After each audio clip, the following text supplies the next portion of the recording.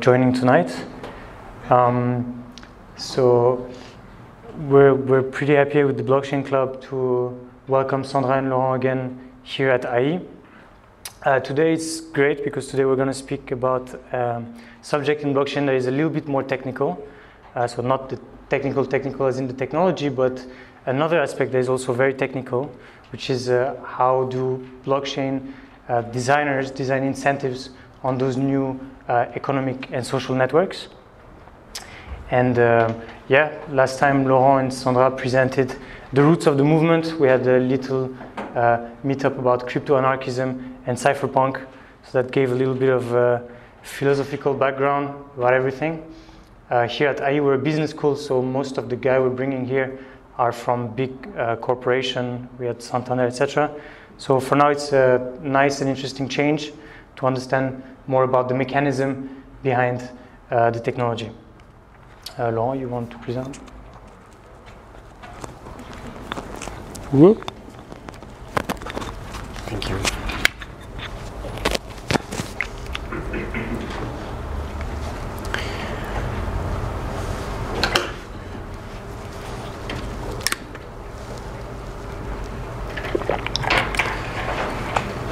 All right. Good evening, everyone. Uh, thank you, Theo, for bringing us here today. Real pleasure to present this uh, for the second or third time already. So hopefully it's, it's going to be better than, than before. we actually keep improving it every time. A uh, quick word about, about us and what we are doing here. So we started with blockchain space, Sandra and I, um, pretty much uh, two years and a half ago now, where if you can imagine, the only ICO you could talk about was uh, Ethereum. So a lot has going on and uh, happened in the space since then. But we, uh, we start doing events and uh, learning about the technology itself and the space. And um, through that experience, uh, we're not coders or programmers. Uh, Sandra is an economist, and I'm a, an engineer by, by training. So we are autodidact, right? We learn by ourselves, but we are fascinated by this, by this technology. And slowly but, but surely, we came to the understanding that the, the real important stuff was the stuff that nobody was talking about, in the sense that, uh, yeah, ICOs are uh, fancy and interesting, and uh, but it, it's not really, you know, what, what is going to make evolve the space in the future. At least that's what we think. And so uh, quickly we, we figured out that below everything uh, in, in, the blockchain is crypto economics. And crypto economics, as we hope to uh, provide you with uh, tonight, with this introduction, is basically the, the way to incentivize people to, uh, to take a decision, right, towards an, an outcome that is desirable for your project or your community. And we think it's important because it's a comeback for us uh, also to the, the, fundamentals, the basics of why this stuff is important. We don't see this as just a, a new, you know, a, a, new wave of innovation. Before that it was big data, and before that it was the, the Web 2. Uh, this is for us something that has the potential to change the, the lives of uh, so many people on this planet to finally get rid of things that are, in our opinion, useless in, on this planet. And to accomplish this, you need to really understand what is it about and how to make progress with the technology that we are. We were given almost a decade ago now by uh, Satoshi Nakamoto, and we have the potential to make it grow and evolve in, into so many more directions, uh, a lot more useful than what we maybe see today. So um, what we do, well, we are a crypto economics hub. So this is meant to be international. Everybody is welcome to join our efforts in understanding fundamentally. So this is really about the community, about learning, about sharing um, theories, experiences, and so on. So we've got a bunch of uh, Telegram group, uh, the main one, and also a specific one for uh, weekly sessions that we do on Sundays. Uh, are, those are online sessions. And on Tuesdays here in Madrid, uh, physically, we met, we meet in the international labs. where we uh, keep doing those, uh, those learning sessions. And apart from that, we have a uh, growing knowledge repository, if you like, that is going to be both on GitHub, but for now uh, on Discord. The links will be shared on screen after the, after the, the, event. And I think that's pretty much it, right? So I leave you with Sandra for the first part of, of this talk. Thank you very much. Okay, also from my side, welcome everybody. So uh, before I start, I would like to know who here knows the concept of blockchain. Wow, really nice. And uh, who has heard about cryptoeconomics? Mm -hmm. And who knows what is cryptoeconomics? Oh, nice. Will you come here and give the talk there? Okay, that's really good. That's amazing how this improves year by year by year. I mean, okay, so I will talk now about the elements of crypto economics because uh, most of the people mix this actually up and they think crypto economics is crypto economy.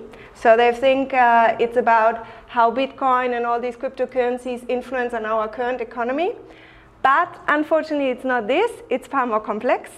It's actually what um, Theo already said, and Laurent as well, it's actually the design behind. So Bitcoin was the first crypto economic model, if we want so. But now, I mean, I, I, assume you're also familiar with Ethereum, you know that there's EOS, there's every day actually coming new, something new. And all these new applications, especially these token models, they, new, they need new, also new mechanisms behind to make them actually work. So crypto economics is somehow the whole basement for all these applications, all these platforms to work. And what is so complex about this is one single word, and this word is decentralization. So at the moment, we live in an economy which is centralized, and this means that every company has people that take decisions. And they can make these decisions every day again. They can change uh, decisions they have done in the past. They can just, let's say, they can lead their companies, their products, their projects uh, flexible to what is, what is demanded in the world at the moment. The problem with decentralization is we don't have this uh, central entity. And um, on the one hand, this is really good.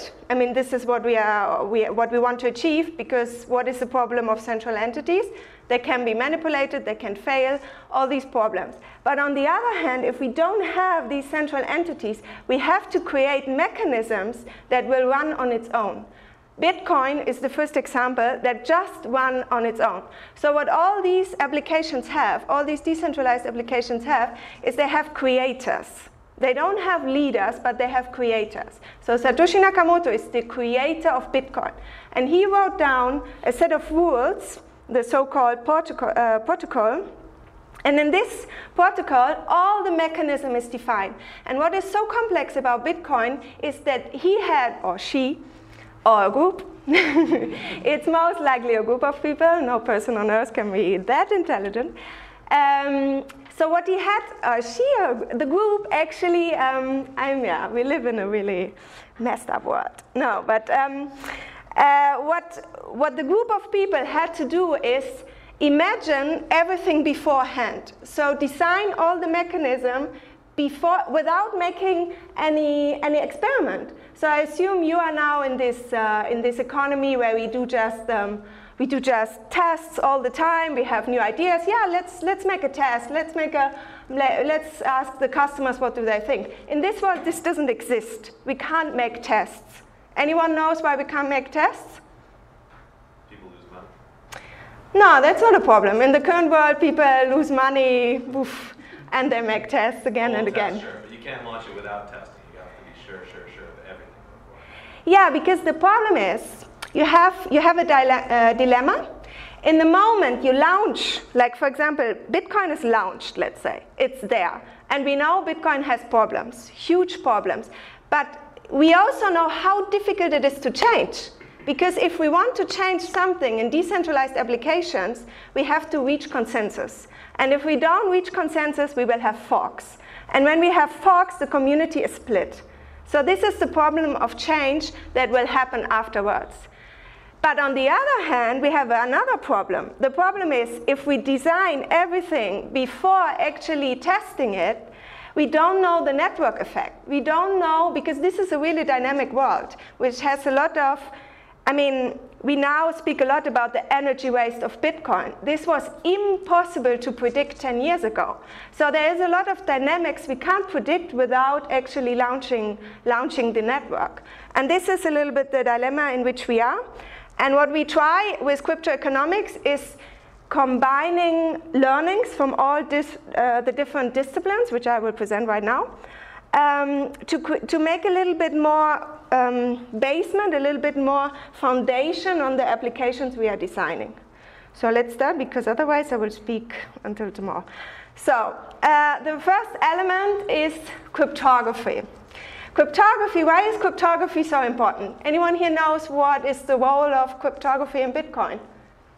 Why do we use cryptography everywhere now in the blockchain space? To ensure that the blockchain is actually immutable. Mm, in which way? And everything on the blockchain is encrypted so that. Yeah, that's, uh, that's uh, actually a little bit of a side effect because everything is decentralized, everything is, tra is transparent, and because everything is transparent, it has to be encrypted. Otherwise, everyone will know my, my account, no, and my, my balance, and I don't want this.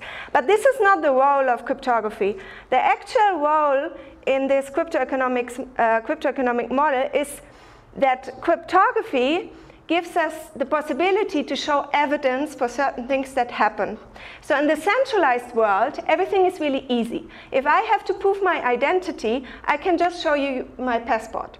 Or if I'm in the digital world, I can just verify through emails, through my uh, telephone number. I just need a unique identifier to show you my identity. But now we have a decentralized world. So there is no central authority that can prove I'm Sandra. And therefore, we use cryptography. And how we do this, for example, in Bitcoin, is uh, if you're familiar with digital signatures, this is a way to prove that I'm the owner of the private key. But I can also use digital signatures to prove whatever. The, the mechanism, I mean, are you familiar with digital signatures? Should I explain it shortly? Yeah? Okay, really quick because I, I didn't have so much to talk. Okay, so the idea in digital signatures is just one example how cryptography works. You have this pair of private and, and public keys. Yeah? These are just two numbers and they are connected through a mathematical connection. And now I want to prove to you that I have this private key. But obviously I don't want to show you my private key because if I show you my private key, you have access to my account. So what can I do? I can now you write a message, I'm Sandra, and I encrypt this message with my private key. Now I send you this message not encrypted, encrypted, and my public key. And with my public key, you can decrypt this message and see that both are the same. And because only with the public key that is corresponding to the private key, this crypt, uh, encryption and decryption is working, you now have the evidence that I own the private key without have ever seen my private key. Okay, that's the magic of, of cryptography. And this cryptography we use, I mean, if you're in the blockchain space, hashing is just the word you hear all the time. Yeah? So hashing is another way of giving evidence for correctness.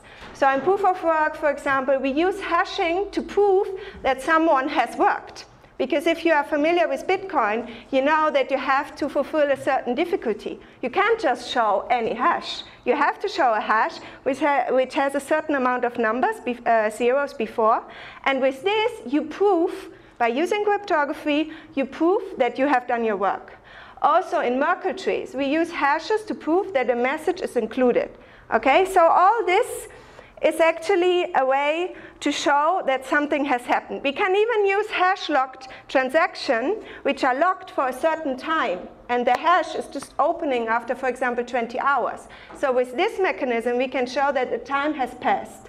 So what I want you to imagine is that cryptography is like a science we can use to give evidence for, for certain things we need. Because in the decentralized world, we can't ask anymore the, the, the service providers to do this for us. Okay, so we need to use this science to do this. It's actually also, if you think about it, it's actually also moving trust from states, from Google, from companies towards cryptography. Okay, so you don't need to trust a central entity anymore. You only need to trust that um, the mechanism, the mathematics behind is working. Yeah. Okay, I won't go into this. Um, if you are interested in seeing more of how cryptography is used in cryptoeconomic models, then I recommend you to look at the Raiden network, which uh, actually uh, uh, applies the system to uh, state channels. Okay, the second discipline is game theory. Who here knows what is game theory? Okay, someone would like to give a try? What is game theory?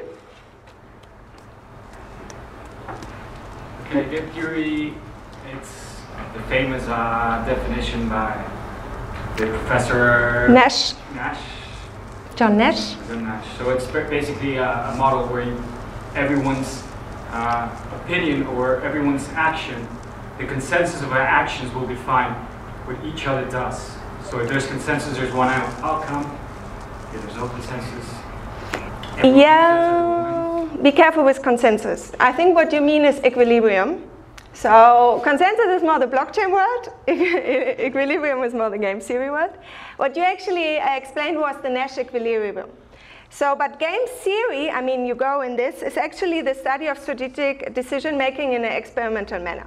What this means is if you ever come across some game theory um, um, situations, uh, scenarios, you know that it's always you, the players, they can always decide between cooperating or not cooperating. But what makes them cooperate or not are the incentives. Okay, so what we do in game theory is we study how people will make their decisions based on different uh, incentive uh, scenarios. And what we want to find out is where's the Nash equilibrium? Because the Nash equilibrium is a, is a moment in which none of the players has an incentive to change his decision. Okay, so they both are stuck in, in this situation. The most famous one I mean, you talked about him already, is the prisoner's dilemma. Who knows here what is the prisoner's dilemma? Someone would like to explain as? It's a dilemma, right? So there's something which uh, we can't go out. Uh, so what is the problem here? The problem is, I mean, the situation also, it's an example. Huh? It's like two people um, from a I don't know, criminal group or something. They got caught by the police, and now they are both asked who did the, the act, yeah, the criminal act. And they have now two options uh, to, to answer to this question. One is to say nothing, yeah, and this is somehow cooperating. So I don't say that the other has done it, I cooperate. Or I could say, no, the other has done it and this is somehow not cooperating. Okay? The problem is, if we look at uh, these kind of incentives, if both won't say nothing, both go free. Okay? Because no one, the police can't do anything. If no one is saying anything, no, uh, the police doesn't know who, who did the, the act. But if, so the police is also not stupid, no? Well, sometimes at least. so um, what they do is they put some incentives, and they say, um, if you say me that the other has done it, you get actually less. You get an incentive more. Yeah. So they give the person an incentive to say what, what the other has done. So what I have now is this situation. This is uh, the same. Uh, the same situation, just put in an incentive matrix. So if I now um, do not cooperate, yeah, and I say that the other one has done it, but the other one is cooperating, so the other one is not saying anything, I gain even more.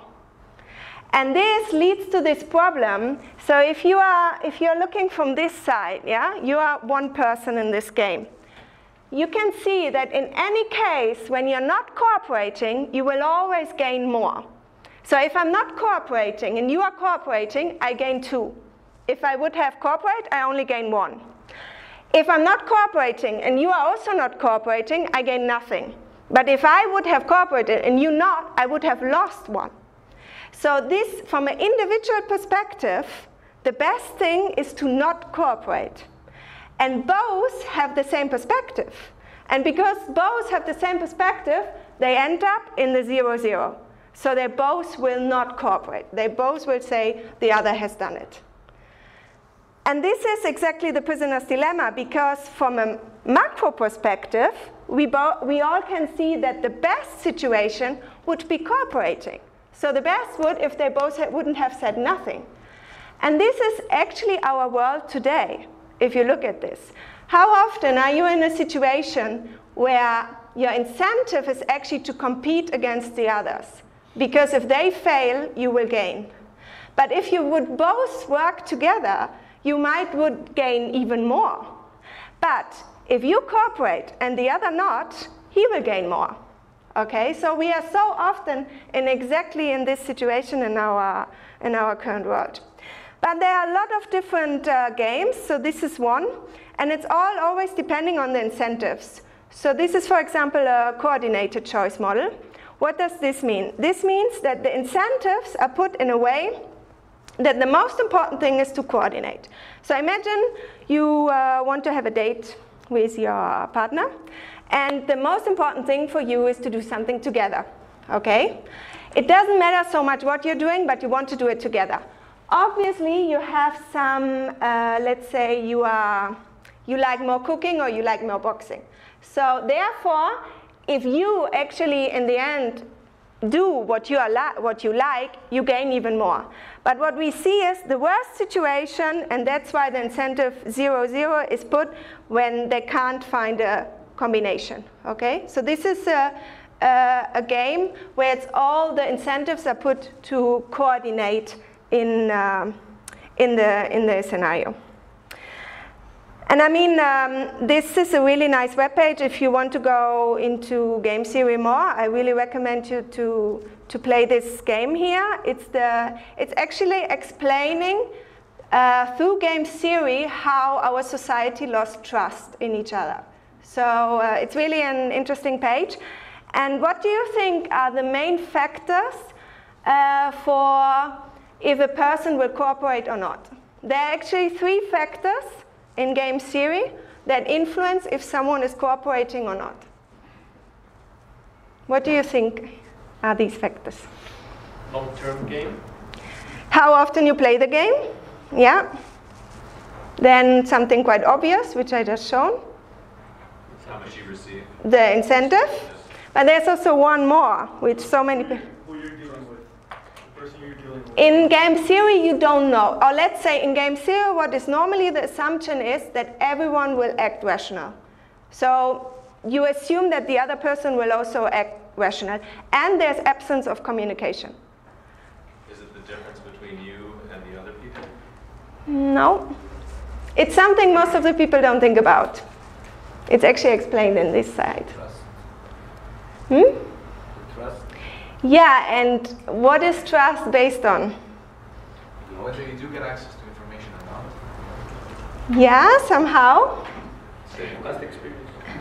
Yeah, so it is actually the arrow.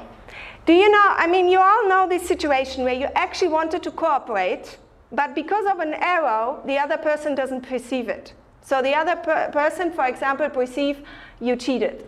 Let's say we all know the messages, no? So often someone is not responding.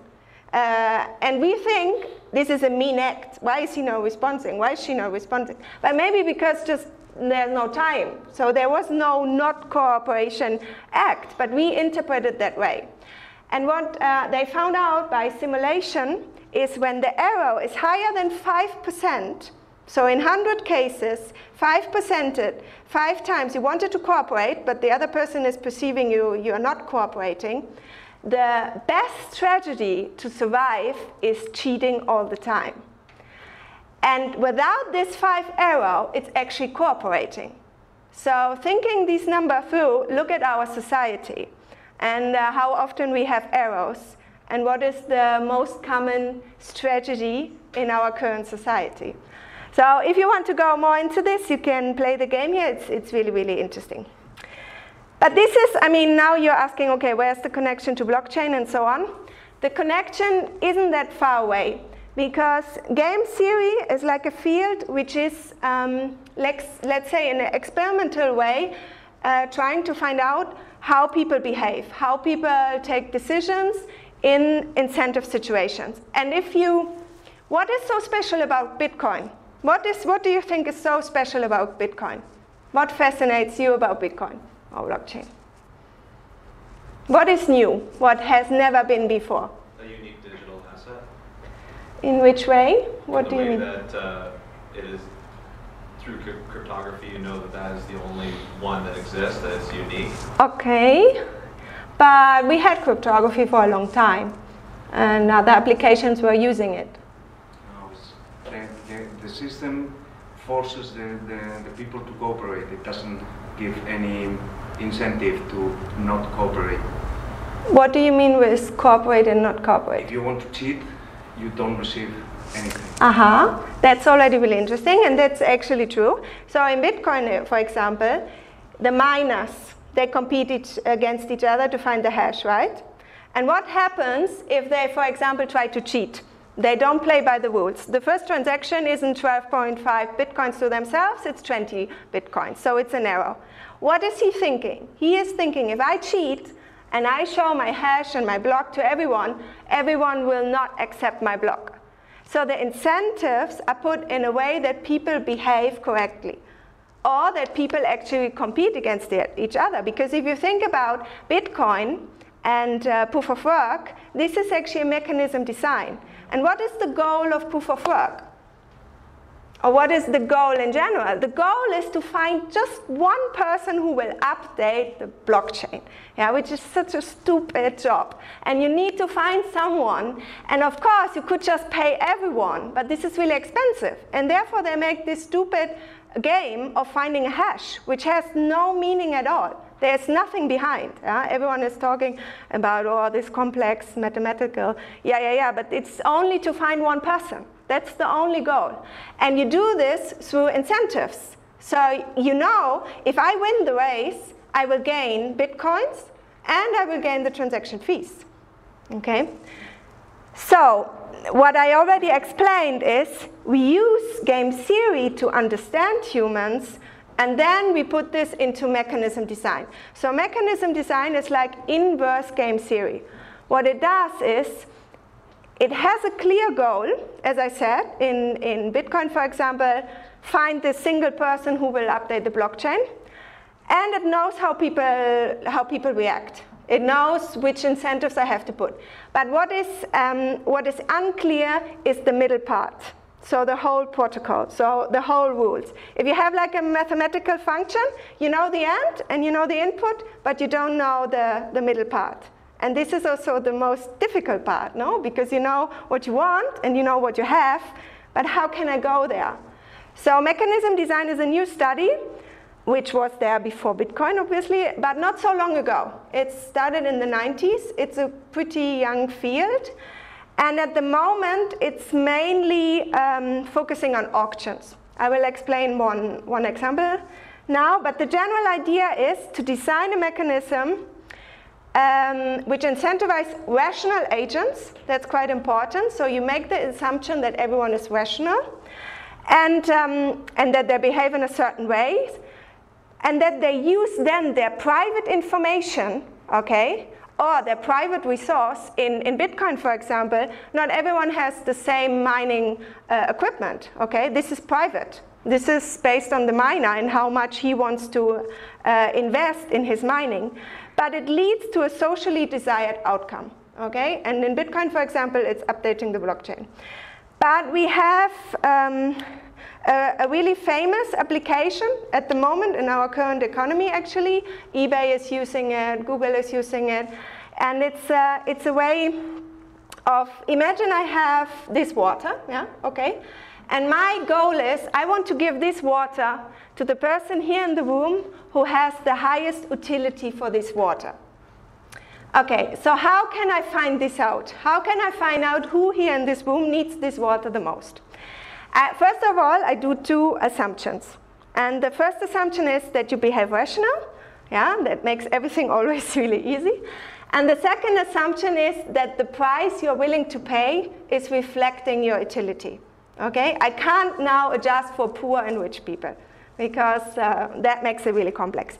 So what I can do is I can make an auction. No, so you bid, and the person who gives the highest bid will gain this water. What is the problem of this mechanism? Anyone knows? Will the water then go to the person with the highest utility, reflected by the price? Hmm? It wouldn't, Why not? because therefore you would take into account certain factors that are according to the whole system, which is not equal for everyone. Yeah, okay. This is what I said before that some people have just more possibility to pay more. But I, I mean, I now say your highest utility reflected by your price. If that person can't afford it. Yeah, this is, um, this is a general problem that mm, you can't solve this through this mechanism, that some people have more money than others, let's say. But therefore I said the willingness to pay. Okay, you can, now, you can even say in percentage. Imagine you all have 100 euros, and I say, I want to know who from this 100 euros is willing to give me the most to get this water. So then you have all equal, equal situation, okay? But still, with this auction, I won't get it. And why? We will find out if we put ourselves in the individual actors. So what is my problem? I want this water, okay? And I have also um, a willingness to pay for this water. Let's say 30 euros. I will pay 30 euros. That's my highest amount I can, I can pay. If I now bid with 30 euros, if I don't, get, if I don't win the auction, okay, I don't win anything, no? But if I'm, if I'm the lucky one and win the auction, I will come up with a zero win. And why? Because I bid with everything I have. So I have the water, but I paid with everything I, I have. Therefore, economically, it would be better to bid a little bit less so that I make actually, uh, that I make actually a benefit. But the problem is, this a little bit less, I can't define. Because if I, if I pay a little bit less, the more less I pay, the better for me, right? Because I, I don't have to pay so much. But the less I bid, the less the probability I win. So I'm in this dilemma. Therefore, there is a new rule which uh, changes a little bit the mechanism design, and this is the second highest auction, the second highest price auction. And this works nearly the same way. You know this uh, design? I'm, I'm sorry, there are open auctions. Everybody knows who's, who's opting? Or Yeah, but you don't know it's private information. You don't know what the others are saying. Right. Yeah. So the second highest price auction model is you bid again, and in the moment you win, you don't have to pay the highest, so your own bid, you have to pay the second highest. So now, what is the best strategy? If I bid, if I, I, I want to buy, uh, I want to uh, pay 30 euros, I said, right? So if I now bid 30 euros and I win, I have to pay only the second highest. So in any case, I will have a benefit which is higher than zero. Now imagine, as I said, my willingness to pay is 30. I bid with 33 because I want to make my probability higher to win. But imagine the second one bids with 32. Then I have a minus. Then I have two euros I was not willing to pay. So this is not a good strategy. If I pay less than I'm willing to pay, so only 25, for example, the probability of winning will go down. So by this mechanism, the optimum strategy, and optimum strategy means in, in mechanism design that it's the best strategy, it doesn't matter what all the others are doing, is to bid with your, with your true value. And because everyone has this optimal strategy, me as a designer, I will find out through the highest who has the highest utility without know knowing exactly your private information. So only through the mechanism itself, I could give the water to the person who has the highest, highest utility. Okay, so this is uh, mechanism design, and there you can already see it's quite complex. If you want to go deeper into this, uh, if you're in the economic field, you know it's all about formulas. You have to prove things. It's all proven. Okay, it's not just me talking about this. Okay, that's all perfect. So I will. Uh, I think it's really late. I will do it now really fast. Um, the problem of all this mechanism design game theory is this, this one, yeah, yeah, I do really fast. The one uh, assumption that we all behave, behave rational.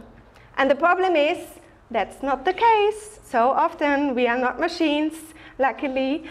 So uh, economic, uh, behavioral economics is like the brother of game theory, let's say. Game theory is looking at humans from a reasoning perspective. So game theory explains how people will behave by just rational reasoning.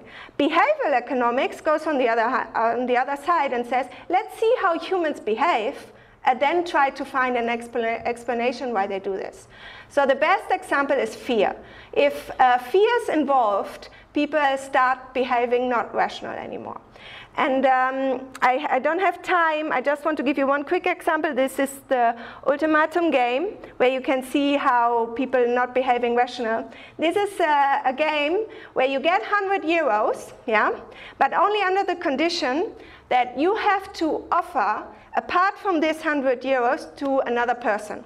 And if the other person will accept this offer, you will get the rest from the 100 euros. If the other person will decline, will deny, um, reject the offer, you get nothing. So now, if I would offer to you just one cent, you should rationally, you should accept, because before you had not this cent. Now you have a cent. But in reality, we see that under 30 euros, the people don't accept for different reasons. Maybe a little bit of well, you didn't want to give me more, so now you'd get nothing. So a little bit of guilty and so on. Just quick, um, in the blockchain space, there's a paper around this, and um, how, because how can we include now behavioral economics? It makes it all really complex, no? So um, the author of this uh, paper, I will tell you the name later, he said that the more automatic the, the application is, the less there is um, behavioral economics. So for example, Bitcoin, the mining process, there is no behavioral economics. Yeah? It's just finding the hash. And also the bigger the action space. So if you look at social media, people inter can interact, they can vote, they can publish, so they can do a lot of different things. Then we need to look at behavioral economics. And well, that's just one sentence. The whole environment of blockchains are networks we haven't really studied block uh, networks, so we need to check what are the dynamics here. One you might know is the network effect. We know this from social media. If we find an app we like, the first thing we do is, come, come in this app because then I get, I gain more. And this is exactly in the token space, you know, when you, when you talk to people and they have tokens, what do they do normally? They try to convince you that these are so good tokens because then their own value will rise. And um, well, um, I will just leave you with two uh, uh, sentences about design because in this new world, if you want, you could be a designer, okay? Something what was only um, given to states and, and corporates so far is now in the hand of all the individuals. So people can design now small economies. And if you design these small economies, think about one thing, and this is if you look at the world right now, which is mostly focusing on competition, the best outcome you can get is an outcome of one single individual, which is the winner. Okay? But if you actually create in incentive design, which is based on, uh, on participation, you could get an outcome which is based on the wisdom of the crowd. And this is the sum of all the individuals. So, like open source, if you know Python and and D3, it's, it's the combination of all the knowledge, but there's actually no incentive structure. So now imagine Python and D3 with incentive structure. That, and then we come to Bitcoin and the tokens. And yeah, so I will just leave you with this sentence that incentive structures are really, really important. And if you um, go out of this uh, event or tomorrow, look at the incentives because you will see that there are everywhere incentives. And incentives are actually transforming our society. And therefore, we have now the possibility to change our society and to create something new. Okay, that's it. Thank you very much.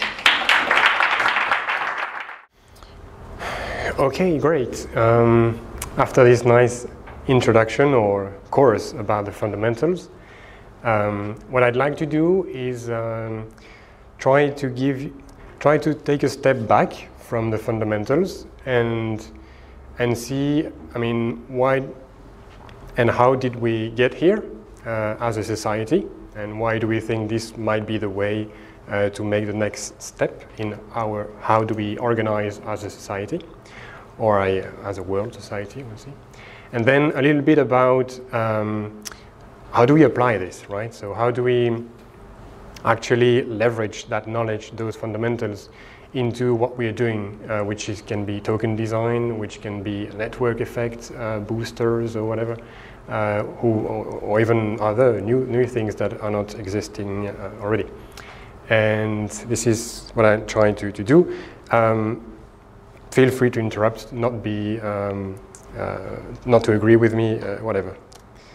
So the fundamental questions, and I think Sandra insisted quite a lot on it, is um, what is the game, right?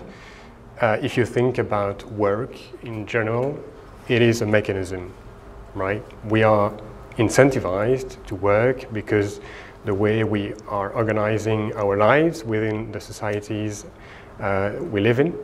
Um, pretend everybody to be working, to be active, and to actively collaborate or produce for the society, right?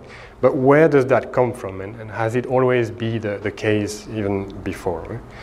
So we do this because we somehow need social order.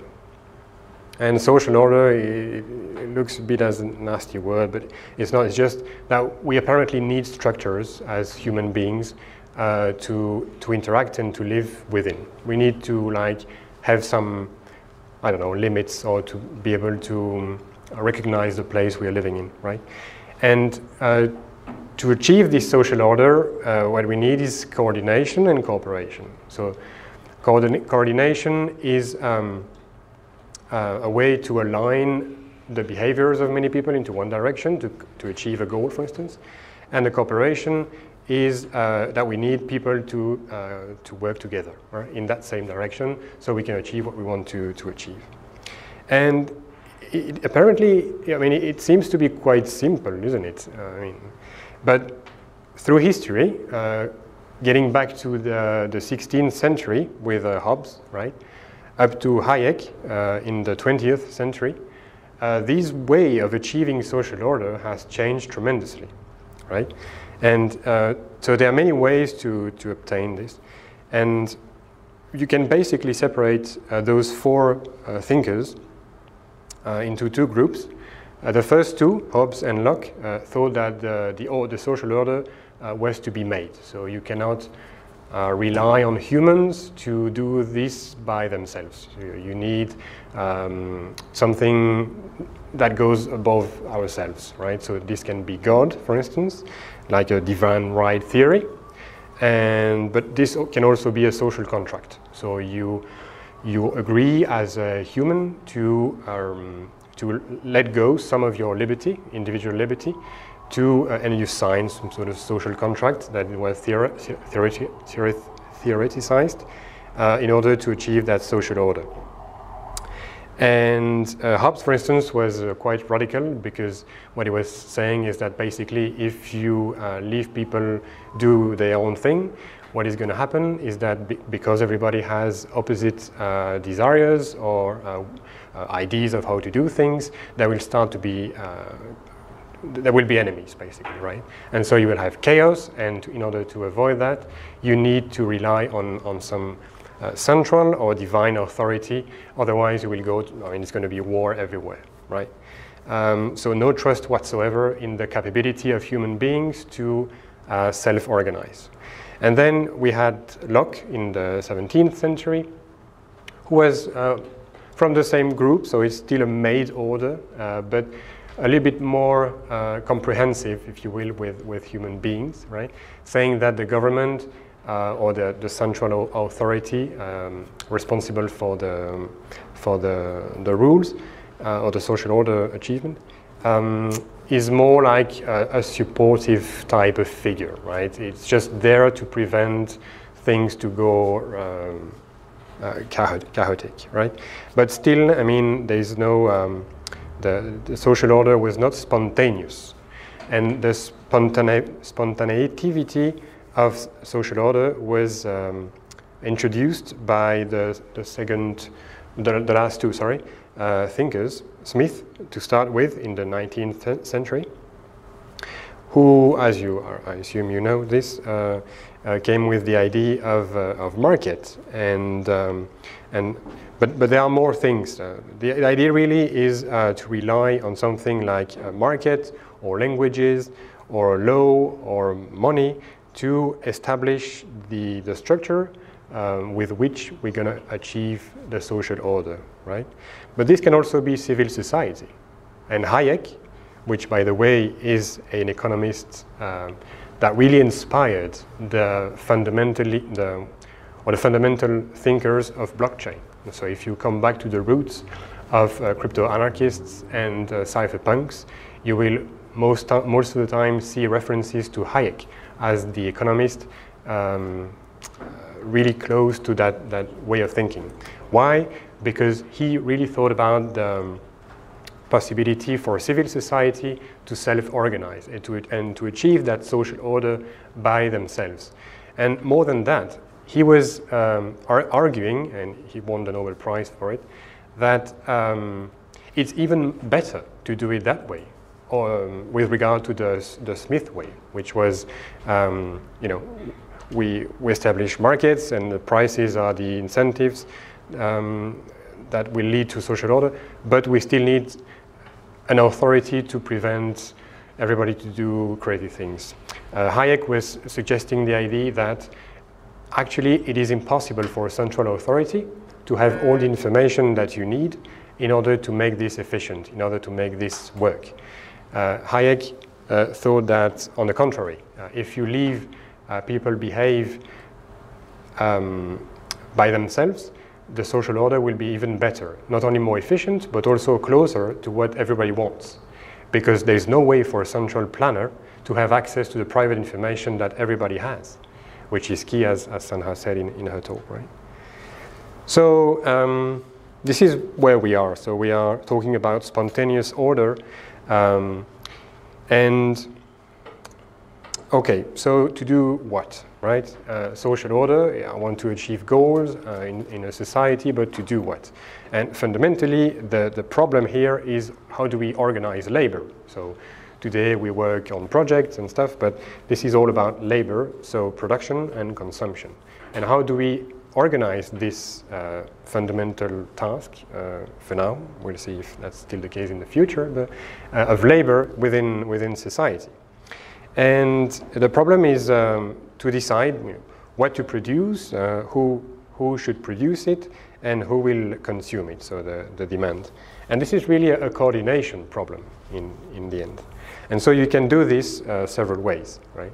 You can do this um, by setting up markets where uh, the coordination works by rules, or you can do this uh, with uh, some planning, so coordination by command. And those are two different structures with different incentives uh, and different consequences to those behaviors that you will see, right? But basically in markets, uh, what works or how it works is with, with prices, which is actually the first decentralized system of information and motivation because it combines both in the same product, right? If you think about it. It's information because it gives you an idea of how valuable something is to uh, the people um, acquiring it or, or, selling it. But it's also, it also uh, embed a motivation, right? So it can modify the behavior of other people with regard to this product or this service and to act on this information that is also embedded in the same thing. And this is decentralized because every participant in the market, assuming the free market is a thing, uh, but uh, everybody uh, can uh, act on this on a, on a really egocentric, egocentristic way, right? Uh, the other way to do it, which is in planned economy, think about communism and that kind of stuff, uh, where coordination is done by command. So you need somebody or a group of people to manually adjust supply and demand for everything.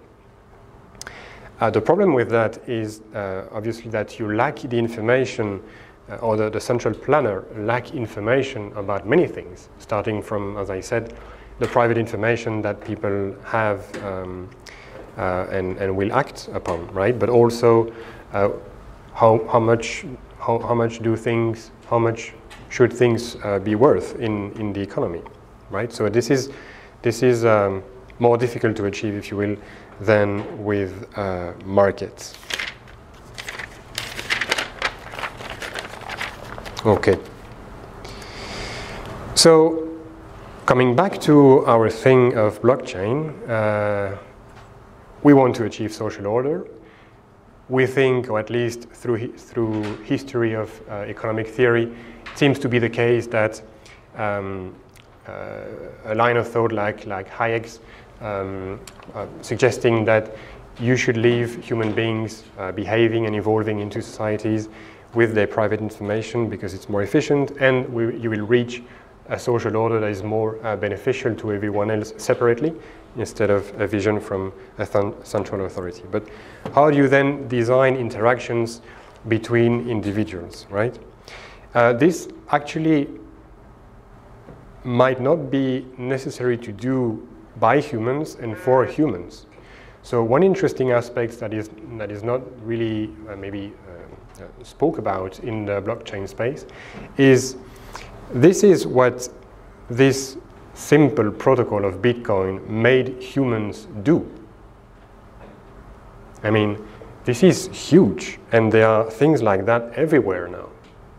And if you think about it, uh, by, by, uh, by, the way, it's, it's, really similar to wheat, for instance, or um, any other uh, uh um, commodity, if you will, like who did what, right? Is it humans that managed to grow wheat to those extremes, or is it the wheat that made humans uh, to grow it so that it can spread all over the, all over the place, all over the, the planet?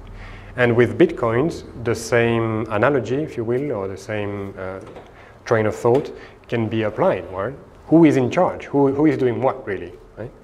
And you can see this if you um, il illustrate or if you um, draw the, the objective function of the protocol, right?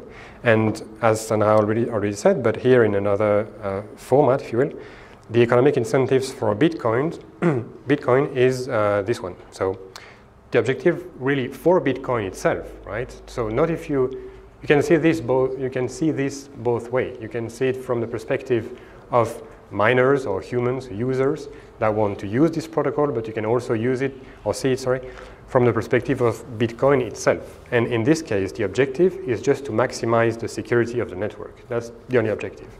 And to do that, it provides a, uh, an objective function that rewards people who will maximize the security of the network by uh, rewarding them uh, with a, uh, a bunch of, of, tokens.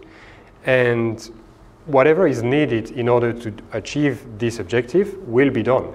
So uh, um, energy consumption, for instance, is a um, consequences of this very simple objective function. Uh, does this have to be the, the, the only option, right? Can, can we do this differently? Actually, if you uh, know Ralph Merkle for the Merkle tree, uh, there is an interesting uh, article that he wrote as, as a draft, but it uh, hasn't evolved, where he argued that Bitcoin is the first example of a new form of life. and uh, basically saying that nothing will stop it because it can perpetuate, perpetuate itself, it, it, can pay people to work for it, and so on and so forth. Uh, even under some nuclear attack, it's prob probable that Bitcoin will still uh, exist afterwards, so it will never die, basically. But the, the, the second part of it um, argue that you could do this with other form, uh, or you, can, you could create other uh, digital form of life like Bitcoin, but different, right? And maybe we can get to a version of Bitcoin or whatever with another objective function which can be more complex and includes more things, or maybe um, decrease some of the negative impacts that Bitcoin has in some, in some regards. Okay? But this is where uh, the token economy, if you will, uh, uh, came. So now what, what we see um, everywhere with, uh, I think it's close to 3,000 different tokens now, now is a, um, a very large group of tokens designed pretty much on the same characteristics as, as Bitcoin with a very simple objective function. And some of them are now trying to be a little bit more elaborate. Questions? Uh, I was thinking, just by reading the rules of the game, there's a difference between the Bitcoin and Ethereum or Litecoin or any other sort of cryptocurrency? In, in general or specifically to? Specific, like, I think that Bitcoin has some characteristics that are, that are specific. Yes. All the, any other cryptocurrency could have to but there, there was one thing that was different between Bitcoin and the other ones, as I could read. Oh, and I would like to understand that more specifically more. Yeah, yeah. Ah, interesting. Uh, actually, yeah. You, maybe the equation should say, I think, the objective function of uh, proof of work, right? Because depending on the way you reach consensus, in Bitcoin is proof of work, in Ethereum is proof of work, uh, in Litecoin is proof of work, uh, also, um, it's always going to work the same way, basically, right? So it's different flavors of how you get there or you get to consensus, but the, the, the, the mechanics, if you will, uh, below it is uh, the same, if I'm not mistaken. But you, you're starting to see new way of achieving consensus through proof of stake, for instance, or delegated proof of stake uh, with uh, EOS. So there are different flavors um, that exist and that have, uh, in fact, different or di distinctive uh, consequences. Proof of stake, for instance, with regard to the energy consumption, is, um, is almost zero. So you don't need uh, such amount of energy to do proof of stake, uh, but you do a lot of it uh, to do proof of work. Hmm?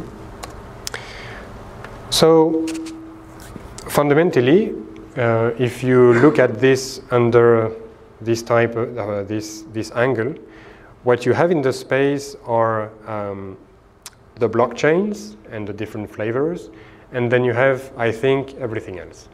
So basically, uh, projects, ICOs, or you know, so all the tokens that lives on top of a blockchain that you can call a DAO. Uh, we have another talk that we might get into some other day about DAOs uh, specifically. But in blockchain, what you need is to reach consensus, and you do that uh, with cryptography and game theory. In DAO, um, it is different, in, and it is different because you will use reverse game theory or mechanism, um, sorry, reverse game theory plus cryptography uh, for the past uh, in order to design mechanism to design mechanisms and make your token uh, behave in a certain way. So you, you do basically the, the opposite. In the first place, you design, a, you design a game and you let people play it. That, that's with uh, Bitcoin, uh, with blockchains. But with tokens, you actually have to think about the specific outcome that you want society or a group of people to get to and design the rules of the game in order to get there, which is maybe even more complex, if you will. Or there are um, uh, layers of complexity far more, um, I think, uh, uh, yeah, complex than in the blockchain, although it's complementary. So, what's a good example of, uh, a DAO?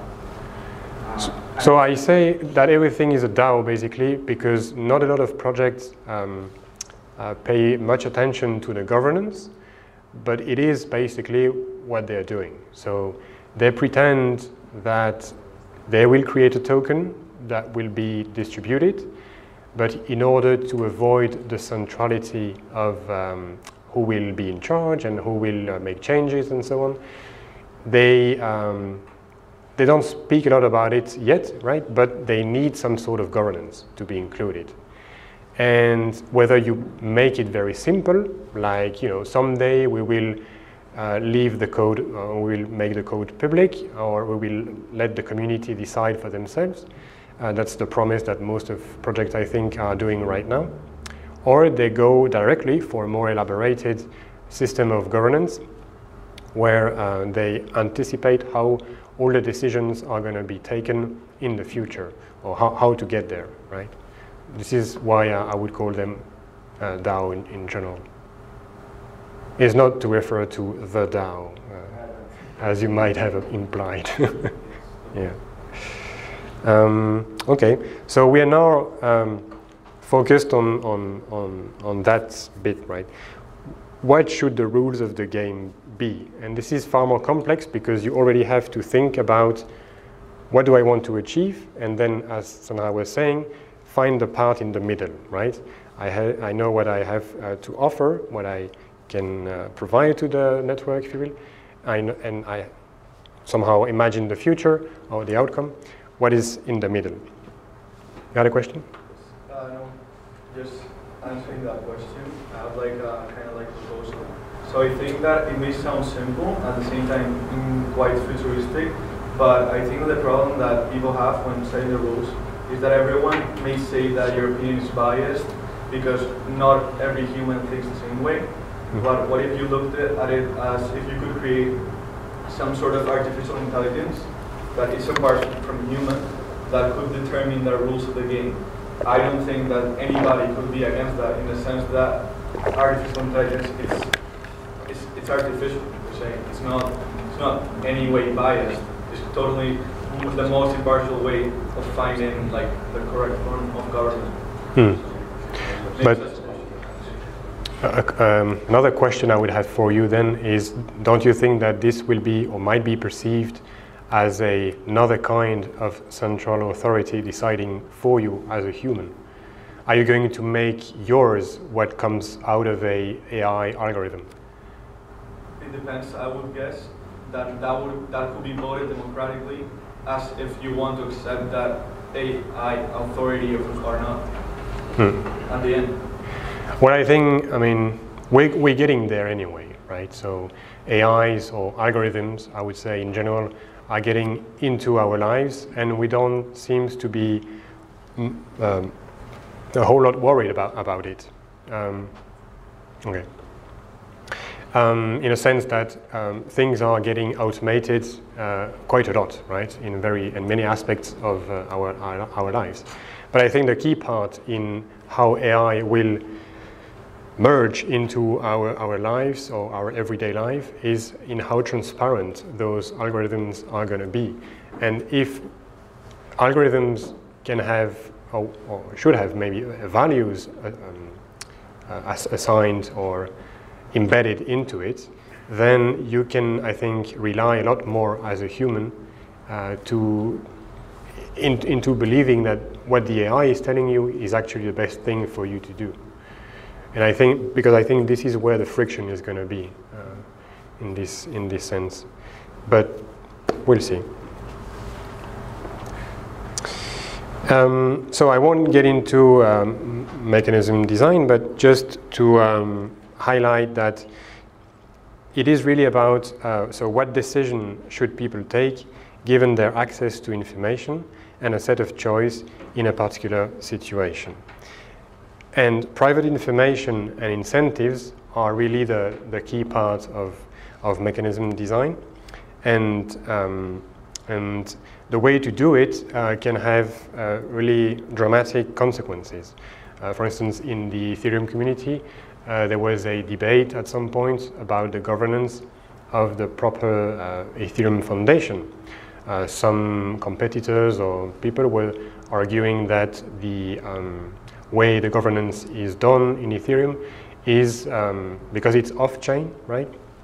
it involves human, and uh, it it can be seen as a um, as an authority, right? Uh, if those people would disappear or stop working, the whole thing could collapse, or even there's uh, why cannot why cannot all the people participate into the into the governance, and I think this can uh, this must be looked at uh, very carefully because especially for governance, with regard to the mechanism that is being used, uh, can be um, uh, quite tricky. And um, sometimes you actually need some leaders. Sometimes you actually need to rely on people that have at least, I don't know, uh, a knowledgeable authority, um, um, that are knowledgeable and uh, an authority in, in, the, in their field to, to lead the way. Uh, but we'll see. So there are many different um, approach to actually to get to the same uh, objective. But okay, so going forward, so trying to apply all this crypto economics to what we're doing. Um, this is really the state of the art in mechanism design for, for tokens. And I think in the um, uh, crypto economics, but in, in blockchain, uh, in applications of blockchain, right, in, in real life, uh, is. The state of the art is really uh, that we're trying to make uh, fire with two pieces of wood, in the sense that um, there is not much equipment, not much tooling at our, our disposal to really uh, prove, as uh, it should be, that what we're designing will actually work, or at least, you know, to try to do it on a, on a laboratory uh, type of um, uh, level, right?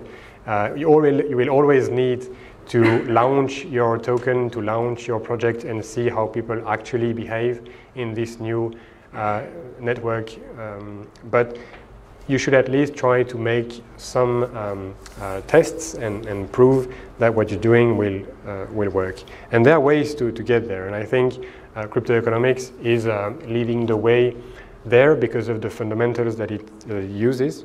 And what we're going to see, I think, is a, a not a combination, but you, you will see a lot of engineering coming into the economics and, and vice versa but the vice versa is already happening with, with blockchain, right? But we still need to improve a lot of the engineering part to make the economic, economic part more uh, robust or to demonstrate more evidently that what we are designing is actually working. And so this is really a, um, a call to the community and we'd like to be, to be part of it at uh, Economics Hub, but to uh, improve on the design of tokens by ways of scientifically proven approaches. And this means that uh, from mechanism design and all the practical constraints that will be attached to it, uh, we need some optimi optimization design, and from there we could get to uh, token engineering uh, by, by the help with, of uh, theories, practices, and, and tools. So there are a bunch of information already uh, published about that, but this is where the community is, is going. And um, finally, uh, a word on the, the, the, the token economy uh, with the, the different flavors of token that you can find uh, out there. And I think that the vision that we can we can have now with, with all the tokens uh, available is that we're going for a instead of a, a, single big economy that uh, somehow connects or reflects um, the interests or the um, behaviors of everybody. I think we're getting to a, uh, a set of different interconnected economic networks um, where you will have specific tokens or money, if you will, and specific ways of interacting with the community for different purposes. And instead of having, you know, one wallet with a bunch of different flavors of the same money, you will have a wallet with uh, different access to different um, interconnected economic networks to be able to do what you have to do. And we'll see. We'll see if this is a, um, a better solution than what we have. But this is, I think, the way the community at large is, is evolving. And of course, when you try to make sense of, um, of the different tokens out there and you know try to classify them and okay so now I know a little bit more about game theory or mechanism design or um, uh, objective functions uh, does this token is uh, really going into all this or is it, or is it just um, the next ICO the first question is obviously do you need a, a, a token for this application uh, most of the time the answer is no um, because the token that is being sold, I don't know if you remember, but at the beginning it was, no, no, uh, what I'm created is a, a utility token. Uh, it's, not, it's not something for, um, for profit, right? It's, a, it's an access to a service kind of token. And we see now that the, uh, the regulators are going down uh, on, those, um, on those projects, um, arguing that this is a security and not a, a utility or however you want to call it. So First thing, try to design projects that are actually make use uh, for what, it, what they are uh, of tokens. Yes? Good question. Since you mentioned security tokens, uh, what about equity tokens specifically? Um, with regard to the question, do you need a token for that? Hmm. Essentially, that's the type of function that they play hmm. within a blockchain-based project. Would you say, therefore, that equity tokens should not be deployed in the first place? No, I wouldn't say that. The same way I think security tokens can exist. It's just that many people uh, tried to, or many projects uh, didn't say they were security tokens by saying that they were utility tokens, where in fact they were security tokens. And the, the, the regulators came for, for them afterwards. But uh, I think to your questions of equity tokens, I mean, it's another flavor, of course. And I think it depends on how do you define equity if equity is a, um, a dividend that uh, investors or, or, token holders are getting after some period of time, I don't think you need a token for that. You've got everything you need in the normal or traditional economy. Now, you can be more creative with how you define equity. Uh, for instance, you can use uh, inflation to do the same thing. But then you've got uh, other aspects of the the, the networks that the network that you are creating uh, to, to deal with. So I'd say yes, of course, uh, let's let's do it, but let's see how do we achieve this equity thing um, in terms of the mechanism being used. Um, and then, okay, so if you assume that you need a token, there are uh, three properties that you can think of and that are interest, um, really important to, to achieve this vision of, of interconnected um, economic systems. Because not only do you need a token, which is an instrument which is digital, secure, trustless, and globally accessible, uh, which is pretty much what every project has, right? I have a token, okay, fine.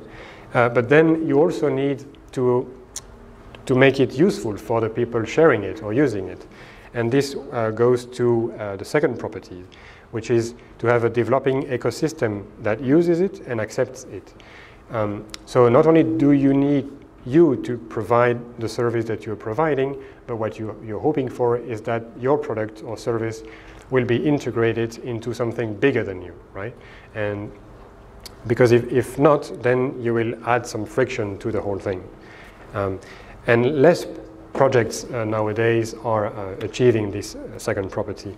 And the third property is even um, more difficult, which is to actually correlate uh, your va fundamental value, the, sorry, the value of the, of the token with the fundamentals of the, of the project. So this is really to get the middle part right in the equation of uh, in between the input and the desirable outcome of your project, right? If you can really align uh, the value of the token with the fundamentals of your project. Okay.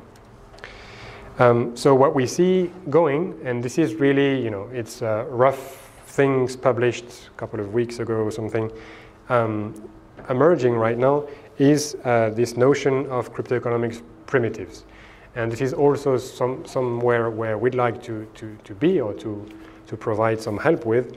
Um, it, it is about um, getting to the point where you can demonstrate that a mechanism applied in a, in a specific um, uh, or for a specific token is actually uh, producing, producing the same outcome all the time. So you've got a primitive uh, which is something that exists in other, in other fields.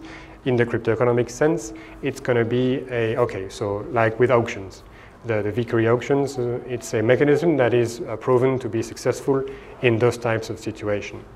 And what we'll see mm, emerging in the blockchain space are other primitives with other um, mechanisms that will always produce the same outcomes. And so keeping in, in mind this when you, when you see them, I think this is another um, indicator of a, uh, a progress being made. And then um, this will also uh, being applied, but also will specialize into different aspects, right?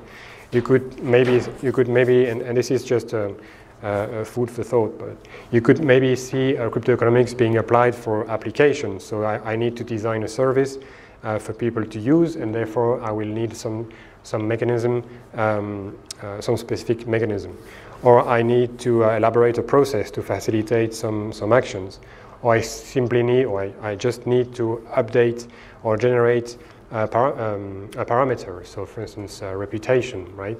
And this is what I do. That will be integrated into a process and then into an application. And we'll likely see like different mechanisms uh, being worked out to do one thing and one thing only, but, but this very, very, very well. And hopefully this is the way the whole token engineering part will start evolving um, towards a, a, practice, really, something really new that will finally, after maybe 60 years, um, give uh, right to, to Hayek, who thought that this was actually possible uh, 60, 60 years ago, but maybe today is when we actually have the tools to get to that vision that, that us, that us as, as humans have the capability of, uh, of doing it by ourselves, assuming that we have this, um, this um, infrastructure or this surrounding that we can um, uh, get our hands on uh, to, to establish that social order by, by ourselves. And that's it. Thank you very much for your attention. Yeah, it's, it's, um, it's also about uh, securities I think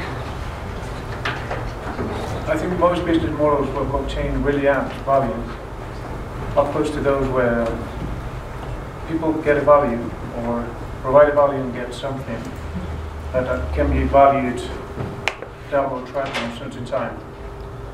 So the way to incentivize uh, gathering things, assets, intellectual assets or whatever, is something that is now absolutely correlated with, with, with a forbidden uh, model of security tokens. So utility tokens is something that have been used for, for many years, for many business models, where blockchain doesn't really add much, in my view. So how do you see the, the, the, the coming future of all those many business models that are based on on providing that future value of investment, not for purchasing tokens, but for creating value for a common project. So how do you think that is going to evolve? Do you think that regulations are going to be uh, set up in one, two years and, and, are going to allow that type of business models? Or do you think there will people will find shortcuts to uh, avoid uh, those regulations and find uh, same type of, of, of model or, or, or, service to the, to the market. Uh, I don't know, with, without tokens actually, without tokenization of, of, of business. Mm -hmm. Do you want to answer it? Yeah, I want to say something. So the biggest difference is not that there's a token or that there's not a token or that it's a utility token security. The biggest difference of this economy is that you suddenly be part of the product. So there is no employee in Bitcoin. Bit Bitcoin does not have employees. You are part of Bitcoin. So if you are, and Bitcoin is, I only use Bitcoin not because I'm a fan of Bitcoin, because this is what I assume everyone knows. I could also say Litecoin or whatever. but you are actually part of the product. And therefore, you have a totally different incentive to interact. And what I see in the longer term is that we will create network economies. So governments and all these central authorities, how, how I mean, Laurent also explained it with, with the connection to the past. I think we will go uh, now to this new step of evolution in society. I'm not sure if this will be a smooth uh, change or if there will be a kind of a revolution because as you can as you can imagine and you said it also those that are in power those, those that have the central authority right now they don't want to give it away. And um, but they also have a problem and this is what we see right now that states they don't cooperate within each other. So some states do regulations but then at the same time, they have the fear to mess it up, to, to, to not gain this innovation in their own country. And this is actually in favor of this revolution because the less clear the states are, the more this can, um, uh, can develop by its own. So I think also regulation at the moment are the worst that can happen because they, the regulations are just also again incentives. So if you put, like for example in Spain, you have to pay uh, taxes on mining. This is a new incentive, uh, which is missing. It's it's messing up the the mechanism design on its own. Yeah, but I'm going to a more practical um, Yeah. thing. What I'm saying is that if you have something that uh, would be considered a security token today, because you, you want to retribute a certain value that someone uh, puts in your platform, yeah. Do you think that you should? You, would you recommend to wait until the, the regulations that would be in place in one or two years, or would you recommend to circumvent those with other economic logic, like like the ones you you are talking about? This is not financial advice. I would not recommend. you gotta do your own due diligence on that. Yeah, I would not recommend anything uh, in particular, but what I can say after what we've been uh, studying for the past year and a half is that the, the easiest thing to do with tokens, which is to issue a token and then wait for its price to go up, is probably not going to last for a long time. And when I was uh, stating those three properties of, um, of tokens, this is really the first one. A security token is really uh, issuing a token and, and do the best for its price to go up by any mean, right? But once you've got things like stablecoins in the, in the space, so the capability of raising funds without worrying about the uh, speculative part of the proper token, uh, then you can uh, pretty much erase the importance or the relevance of that first property because it's a, it's a, it's a, it's a, a default thing that you have and focus on the other two. And the other two are much more about what Sandra was saying about the community and about the networks that you are generating and how do you align the fundamentals with the value of the token. And if this become, becomes the uh, way of um, evaluating a token, then the fact that it is a security or, or a utility token or the other way around is not relevant anymore. So I think this is something that is uh, a problem for now, but won't be in the long term.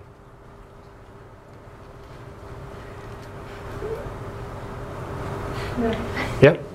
So I really don't know what is like being done right now in this world, but I have like a question because when I was looking at the process of the three parts, and I was really surprised by the fact that I feel that it's being very focused on the interaction between the, the different parts of the whole process because there is no intermediary. And that is like what is bringing the value of for example bitcoin up or down whatever like people think about it. And i think that uh, well i ask you if you think that it will be in the future more about the parameters in which you set the whole process what it will drive the value up and not so much the interactions if, if you think that will happen hmm. and by interactions you mean i mean like not only the mining, but the actual people that buy and sell the, the coins. The trading. Hmm? The trading. The trading, exactly. And the parameters of the of, of what you explained before of the, like the rules of the game because you said like Bitcoin has all these rules. Oh, okay. The other the others have all these rules, but the one that Bitcoin has that the other don't is this one. So it's basically Interesting. Something that I think that is true. So, um, I mean, Bitcoin is a really interesting case because Bitcoin from it's like the oldest cryptocurrency, and because it's so old, it's not really efficient. It has so many problems, but it's representing the whole movement.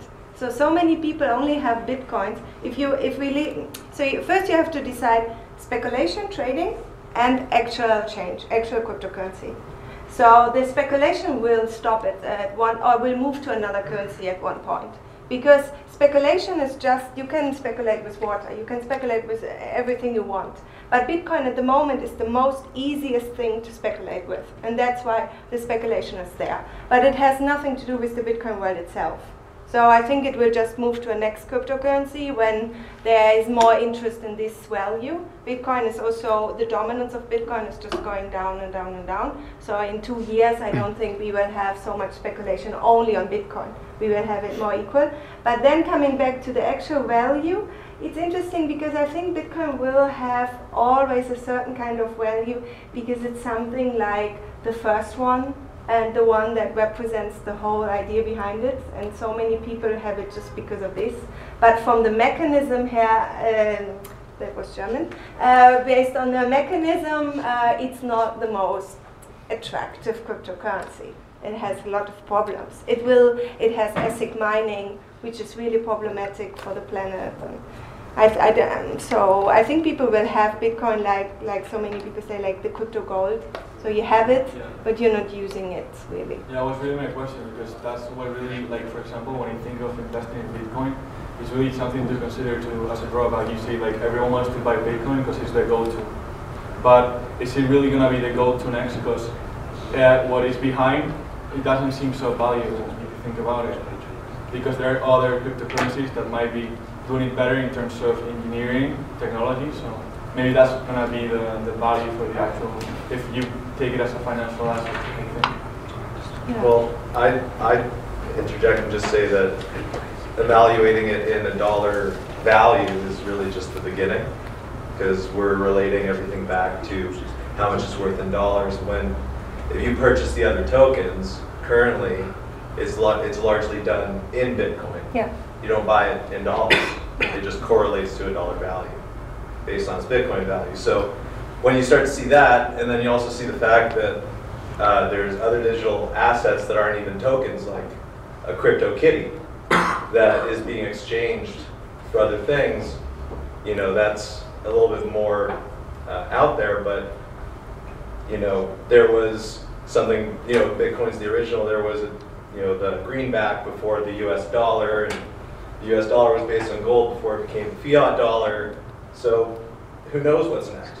You know, who knows what maybe people predict that Bitcoin could even be the next, you know, international currency. But then again, it comes down to the interaction, like where are these coins being used, by who, and then you can compare it to how we have all these different dollars for different countries because we're segregated geographically. There's a lot of there's a lot of variables there. Totally. And I would. I would also add to that uh, that uh, you don't actually need to have one size fits all type of uh, token or, or blockchain even. So you could even even even for the same project, but you can specialize your token for one thing and one thing only. Uh, some projects actually have two tokens for serving two different purposes that in combination they think they think will achieve the, the desirable outcomes that they are looking for. So maybe like a merge of different cryptocurrencies into like a common one, or I mean, I'm trying to get your Like I, I've got one project in mind, which is actually using a token for the liquidity part of the economic network that they're trying to build, like to pay for stuff, uh, products and services. And then they have a specific token that will focus on building the community and improving the network effect of their project. And those are two different tokens that serves different purposes, but in combination will hopefully make the project uh, a success. You had a yeah, you had a question. I I just wanted to ask you your views and what you think on the on the max cap of the initial coin offering, you know, from an economic standpoint. So uh, this was addressed uh, some time ago by by uh, the Ethereum Foundation and Lutrin and these guys. So we see we see it we see a we see a framework today where you cap the, the maximum amount that you will uh, allow uh, each each person to to invest or to contribute, right? So or the overall amount of the crowd sale. And this, what happens afterwards when we come to an exchange or to a price-driven market, which you discussed, it's been manipulated because they add this scarcity um, component. So what's your view? What, what's the best way to go? Cap it or let the market drive? So from an economic point of view, if you don't do it, you create, uh, you create inflation. So you're actually playing with the investment of the people. Oh, if you just print more and more and more, those that already have mm-hmm. have lower and lower and lower of value from the token they, they gained. Uh, or you reduce it later. But I think, and then also, this is not my special, special uh, my my focus in all this. Maybe you know more about this. But as an investor, I would always look on the roadmap, and if they don't make a cap, and also don't have a clear vision what they will do with the additional tokens they gain, it sounds really greedy. And 90% uh, of the ICOs had this in mind. So I would be uh, really suspicious if there is none, and then look at the exact explanation why not, and how this will influence the value of the token holders that, that already have tokens in the pre-sale or whatever. Um, but I mean, the, the general focus on ICOs is also a little bit, uh, in my personal opinion, the best projects, they don't even do an ICO. They just secretly develop, and, uh, and the token is, is just gaining value through its uh, professional work. But yeah, that's just my personal view. Yeah, well, uh, again, I, I mean, I don't have a clear opinion on, on this because again, it, new things are coming up every every day. But um, Gnosis project, do you know it? Gnosis. Gnosis, yes. the prediction market. They had an interesting one, I think, in this regard, because they achieve their goal of selling what they wanted to sell by still having 96% of the tokens in their hand, right? because of the interesting um, reverse Dutch auction mechanism that they used, and the people behaving like really randomly by by FOMO, Fear basically. yeah. They bought at any price when the price was still very high, and so they achieved their goal by selling four percent of the total tokens. So the sale was capped, if I'm not mistaken, yeah uh, but they still have 96% of the tokens in their hands. And so they can play very largely with the monetary policy of this specific token. But I'm sure there are other examples where uh, the opposite, uh, so it, it's uncapped, uh, Ethereum is uncapped, for instance, and things are going quite smoothly uh, because maybe the distribution of tokens is more fair. And so, what can be done with um, regards to the monetary policy is a lot lower than in this case. So, I think it's a matter of finding the right way to do it. It's not bad or wrong. Yeah. Um, what What are some things to look for in, let's say, a cryptocurrency that uh, is? I guess how do you identify whether or not a cryptocurrency is more crypto economically robust or sensitive? Hmm. You want to go first? Because I mean, we've, we've talked about Bitcoin a few times now, and yeah. you, have kind of said, ah, it's not so good at these things. Yeah, okay. How so can I identify, or maybe you can just list a few that maybe are, in your opinion, good at, at identifying these things? I mean, you can now look at factors, what is important, no? So one thing that is important, obviously, is scalability. Because if you have a currency which can't be scaled, you can't use it broadly. And Bitcoin, based on its nature and what I also explained before, you can't just change the rules. At the moment, it, it uh, updates the blockchain every 10 minutes. So there is a, is a really slow level of scale, scaling. You can't, I mean, Ethereum is doing it every 14 seconds, and, and with the state channels, with Raiden network, Lightning network, you can achieve uh, scalability as fast as the internet. So one is scalability issues, and the other is also, I think the energy waste is something that is a, is a concern uh, in the community because that's but i mean it's also really interesting that's something i just want to mention how much we speak about the energy waste in bitcoin and how less we speak about the energy waste in the current financial system. uh, this is just, I mean, and this is what I really like about the crypto community. It's all really open, and it's the criticism is really uh, is is really discussed all the time. Uh, so I'm not so I'm not focusing so much on cryptocurrencies, and I think also because in the end I'm not even sure if they will survive. Because if we have one day so many tokens, for what do we still need currencies?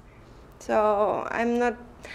I think the mo- the biggest issue is scalability there, and uh, what is the impact on the environment, uh, so energy costs.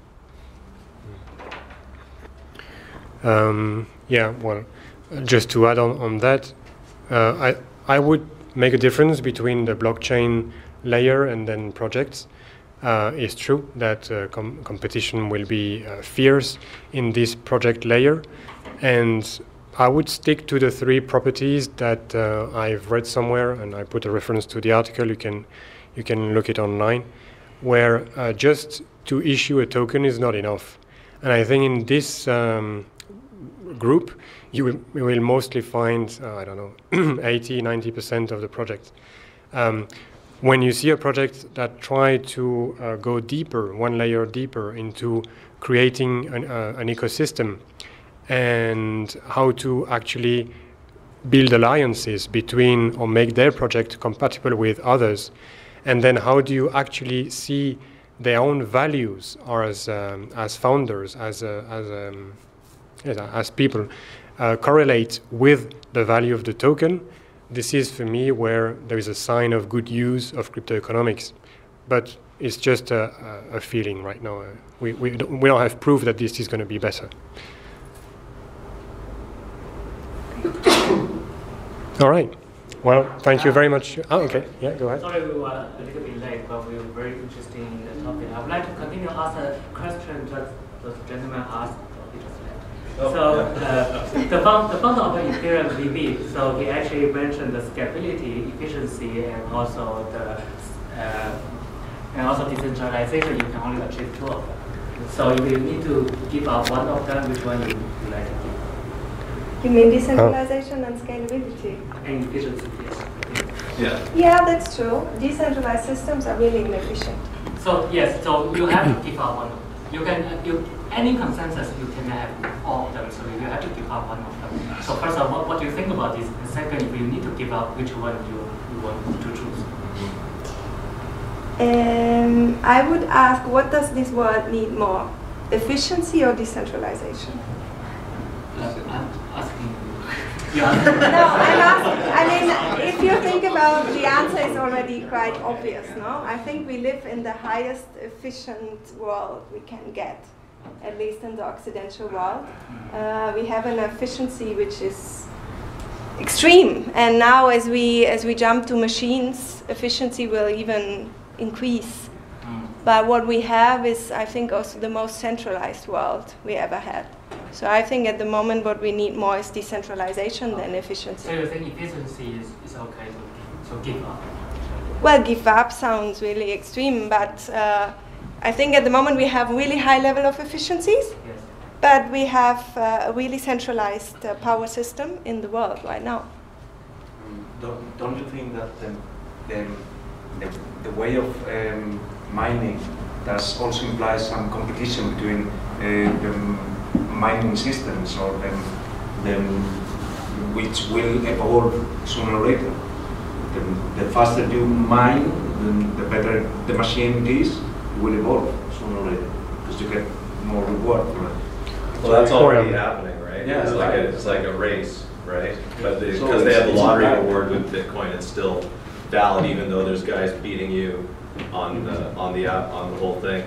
I, I want to know, building on your question, what do you think uh, with your technical knowledge on the subject? How, uh, how are some ways that we maintain decentralization while increasing scalability in the token? Well, there are different approaches, um, whether that's on the as a fundamental blockchain. Uh, so if you got competition on that layer, and then with a specific already existing ecosystem like Bitcoin or Ethereum, there are some evolutions that are being tested, and and we'll see if this with this combined you can get there. So I will I can speak a little bit more for Ethereum because it's what I'm more familiar with, but there are other designs. In Ethereum, what they're trying to do is to um, go both for a division of labor, if you will. In one part, you will have uh, layer two solutions, where it's uh, assuming that not all the transactions uh, have to go on uh, on chain all the time, but you can like bring them together and in uh, in batches you will uh, upload them to the blockchain later. So this is scalability without losing decentralization, but using different a different approach. It's like state channels and so on. And then the other um, groups of solutions are um, things like sharding, uh, which is um, how do you? Uh, sorry, uh, proof of proof of stake. Uh, sharding is actually in the other the other It's like group. And then the other algorithm to reach consensus, like proof of stake, uh, will uh, will manage to also improve the, the scalability of the ecosystem. From yeah, but it's getting more technical. I, I cannot give you. is still a little bit of a mystery to me, I guess, overall, even For everyone. Just just how it because the whole thing with proof of work is uh, that it maintains the record and it, it really speaks to the immutability of the of the consensus um, done by this computing. So I, I don't understand at this point um, you know how proof of stake is a substitute for that, given that. Uh, where's you know is there processing even? I mean, there's processing happening to update these ledgers and, the, So- and these blockchains, but it's, It's- not being done by a processor. So I mean, there's just there's just the problem and the solution, right? And the problem is how can I find one node which will update the blockchain? And with proof of work, what you do is a competition, and the winner of the competition will gain a reward. And um, and what you use, I mean, that's quite interesting in proof of work, is you use a resource which is off chain, which is energy. But you gain something which is on chain, which is the token itself. And in proof of stake, you have a different way of choosing the person who will have the privilege to update the blockchain. You do it by how much stake you have. So you make a random choose, but the more stake you have, the higher the probability that you are chosen. Okay? And then once you are chosen, you only do the block and you get rewarded. So what is interesting in proof of stake is the resource to to get into this game of being chosen to be uh, a validator is the same as, than the reward. So everything is on chain. So what you need is tokens, and what you get is tokens. This can be really cool if it works, and it can be really dangerous if it's not working, because then it will collapse on its own. Bitcoin always have this, or proof of work always has this connection to the off-chain world. That uh, energy is is something we can't just produce like this. You know, we have to buy it. So it's a it's an experiment. I mean, I mean most of the people I can understand. I'm in this. We are actually in this space since 2015. So uh, in 2015, this was a really crazy thing. Uh, and when you spoke about Ethereum, people, uh, if you said ETA here in Spain, people thought you'd talk about ETA, you know, because it was more famous. Um, but now it seems so common, mainstream, but I think most of the people forget that this is actually changing the world right now. And proof of stake is a global experiment. No one knows if this is going to work. No one. It's really insane. And, and pu- Bitcoin was an experiment on its own. So Bitcoin was not, oh yeah, let's do this and it will work, obviously.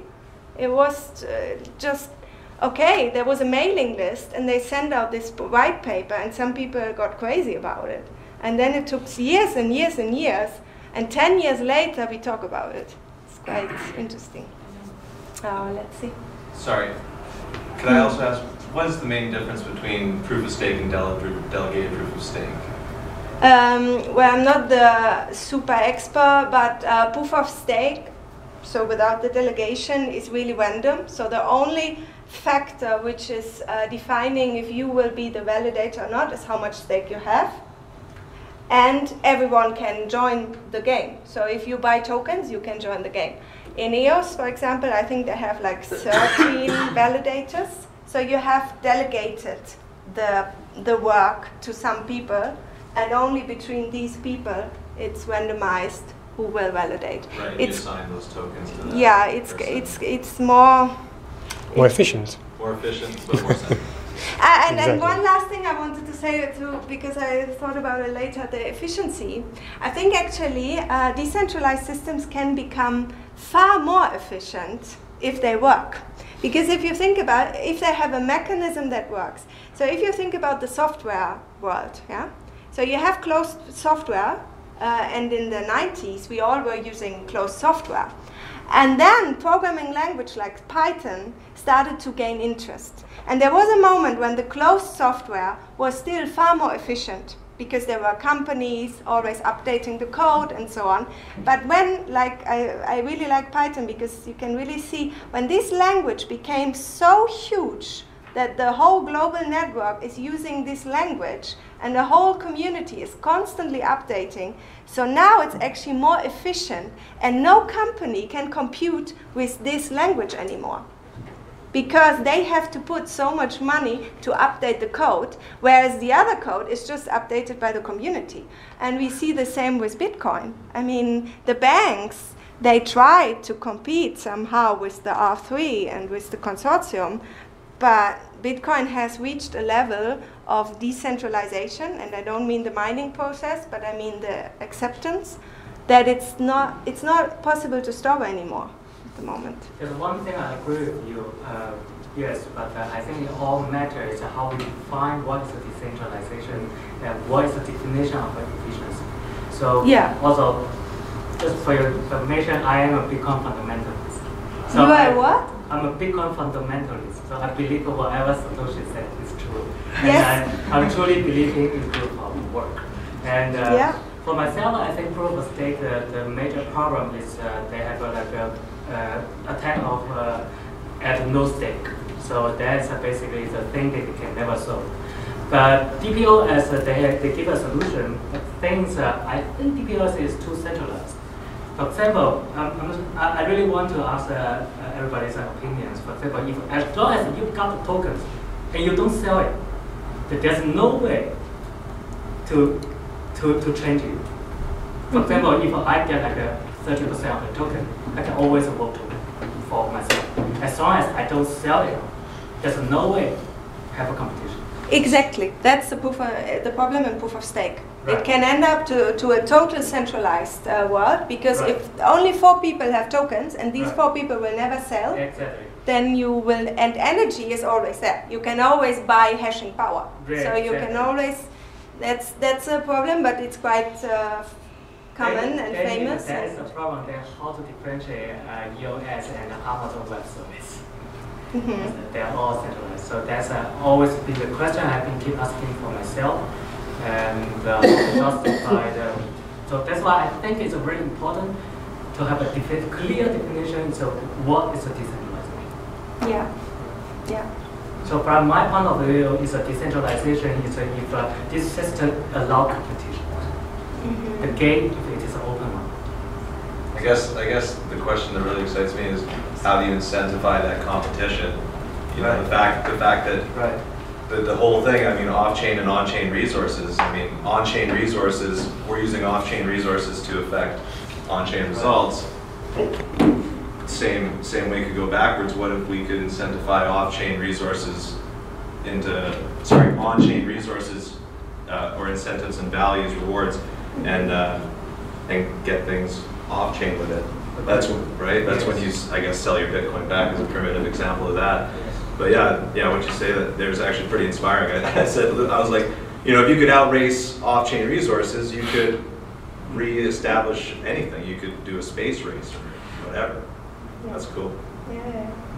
And this is also why you need, for that, for, for making it, uh, to provide an incentive for people to sell their token, you need a something to be bought with those tokens. So again, one cool aspect of projects that uh, take um, that see these second properties of building an ecosystem, of uh, building alliances, and making connections with other projects will, I think, facilitate that uh, decentralization with with uh, with new technologies, if we provide that um, liquidity to those tokens. What do you think about Dfinity? Dfinity. Yeah, a couple of weeks ago I was in San Francisco. There actually in the Atlantic the conference, uh, people are talking about this new project. They call it the next generation blockchain. Which one? If someone calls himself like this, I would already. Uh, yeah, that's my first impression too. But, uh, I, but uh, I haven't got the time to look at it. But it seems uh, they have some very cool ideas. Uh, I don't know about that, but um, I wanted to ask you about okay, this might be a little bit off topic, but uh, IOTA and Tangle and Hashgraph, I mean, that fits within the blockchain or this has been a, okay, some we say, okay, we enjoy the ride with blockchain, but this is Finance and we found something better that really deals better with that dilemma about the scalability, uh, scalability uh, distribution and efficiency because it handles better the real. Well, I mean, the fundamental objective is to reach consensus in a decentralized fashion. Whether you call that blockchain, a tangle, or whatever, it doesn't matter. We're all after the same objective in the end.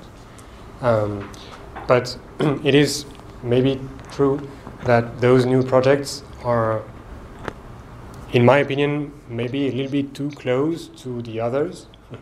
We haven't still figured out uh, or see if those uh, initial designs actually work, that we are already building the next thing. And the question is whether the difference in terms of capabilities of each one is sufficient, sufficiently um, uh, large or, or, important to require a new design for those to to provide a, a society with. And I'm not so sure about that personally. That's just an opinion. And um, you can't compare public blockchains with private ideas. And Hashgraph is not a public one. So, I mean, if, yes, but IOTA, they, Tangle at the end of the day is public. I haven't looked into foundation in Germany, but it's public. I think it's all nice if they just uh, try to do their research and then you decide on your own where you want to participate. Because actually, in the end, it's not about competition, it's about participation. You said before, uh, for you, decentralization is if there is competition. We live in a world with the highest competition, but I don't think our world now is decentralized. I think uh, decentralization is if it's open to participate for everyone. This is, at least this is my definition of decentralization. And I also believe that total decentralization isn't uh, desirable. I think a hybrid system will be the best. Hmm? ability to access. Exactly, to participate in the system. Agree. And if you say for yourself, for me, scalability is more important than the possibility to participate, maybe Hashgraph is for you a better solution than Ethereum. But Ethereum is dealing with far more bigger problems to create a public blockchain on a scalable level uh, than, than, for example, Hashgraph. Sorry, yeah, it's interesting because it's it's like we have these different models like Tangle, and it's being utilized in IOTA, right? So there's a technology there, and the essence of that technology is to validate and record the transactions in a unique way. Um, and there's different examples of that, and it's interesting because they're all sort of the, the the criticism increases of the usage of those technologies with the lack of decentralization because then the validation of what's happened is centralized and the whole system is compromised. So IOTA, for example, and Ripple. Yeah, I, Ripple is sorry, a good example. Sorry, any Ripple holders, but um, you know those are examples of ones that are you I mean, they could just make tokens. One day the people find out. like, you, and also, by the way, on, on CoinMarketCap.com, you can see with a little asterisk by somewhere it, it indicates whether it's mineable or not.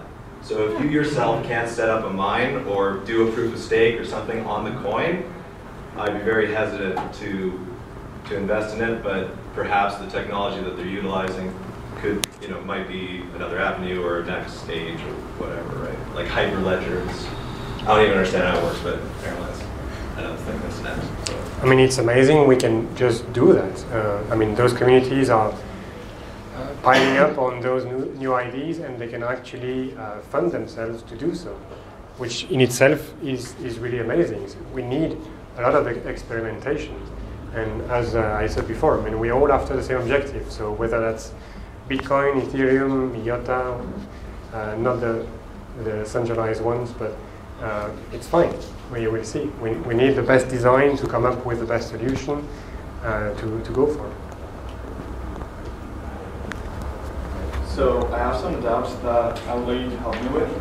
So, uh, for example, with the whole sense of when you say trustless, it means that you don't have to trust the whole process, the technology, because it's already so good that th- there is like no need for that. Uh, then again, I was, I was confusing the fact uh, with the question that came on the screen of saying that you can't avoid a token as a possibility because I think that the token is really an unavoidable and whole, whole part of the formula for this to work because otherwise I, well, I, I wouldn't see, it wouldn't be what it is, I think.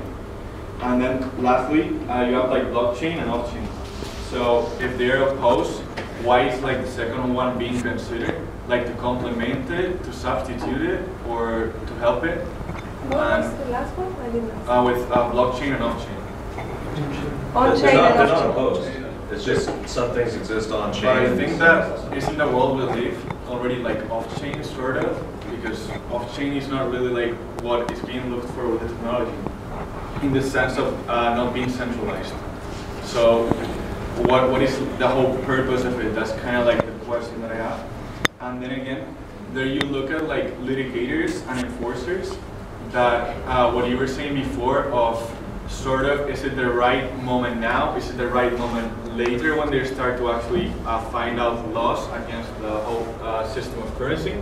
Because if you think about it, now they, it's all new and they don't really know what to do. But maybe that's the whole point that they don't really know what to do and they're really gonna be hard on it. Or what if they actually corrupt themselves and go into it? That then, then again you don't have like that sort sort of power to actually know what's gonna happen. Okay. Let's answer one and then we go and have a drink. Can you repeat the first one? Yeah, the Yeah, first the one of the trustless. Ah, this was easy. The rest I didn't understand. Um, so um, I think uh, you should also not just say, okay, Bitcoin seemed to work, so I trust Bitcoin. I would uh, really encourage everyone to learn these things by, by your own and then decide if you can trust uh, this, this algorithm or not. So just saying, oh, it seemed to work for 10 years, I will trust this now, is again actually the lazy option. And we live already in the lazy option. The lazy option now is uh, I don't want to do my thing, so I just trust someone else to do everything for me. And, uh, and this is actually now the possibility you, you learn on your own how it works, and then you can just participate in it. So you decide on your own if you trust in cryptography or if you think this will be hacked one day. So it's your choice of, of, of trusting, but you trust in algorithms and mechanisms and not, you don't trust in, in companies anymore. You don't trust in, in third parties that can control this trust. I think that what you're saying is very clear. Like if you actually know what the logarithms are and you're able to understand them, Exactly. then really you have it there. Like you are the one who's gonna make the money. So, but Yeah. the problem is really understanding those rules. Yeah. Then again, the second question was the sort the sort of thing of, of a token when the question of like if it was like a possibility was confusing. I think you said this. um, yeah, so that you don't always need a token? Is that what Yes, you because I well I remember like seeing one of the Oh, yeah, that was. do you need a token for that? Yes. And that kind of. Uh, That was yeah. really like. So what? It was like a question because if the whole process is based on is token based, why would you consider the process without the token? Then it wouldn't be that Yes. process. It would be Well- a new different one. Well, the, the question mark was there because maybe it's, it's getting into an end right now, but um, up, up to now, it's like very easy to create a token. And so everybody was creating one without really asking themselves if it was necessary in the first place. And this is why we get into the situations where you have almost 3,000 tokens right now in, in circulation. And most of them are um, utility tokens, where in fact they should be called uh, security tokens. So they're just you know, a way to represent something into a process and hope for a price of this token to go up. Um, but this, with crypto economics, or at least that's we, what we envision, is going to be a non-issue because the simple emission of a token won't be enough to um, justify to the investors that you are creating one. Uh, again, if you consider uh, the space with uh, or provided with uh, stable coins, for instance, that are already existing, then you don't really need a token to raise. You don't need your own token to raise funds anymore. And therefore, if you create a token, you will need to convince the community that its utility is somewhere else and not in the raising funds process. See? Yes. So there is no like uh, an organism that is benefiting from it, but it's actually something accessible to everyone. That is kind of decentralized, obviously, Hmm. and that is also like completely free and public, not not privately owned per se, sort of. Well, it's not incompatible. So there's not a company. Let's continue outside. Yeah. we have to leave now. Yeah. Thank you very much for your question.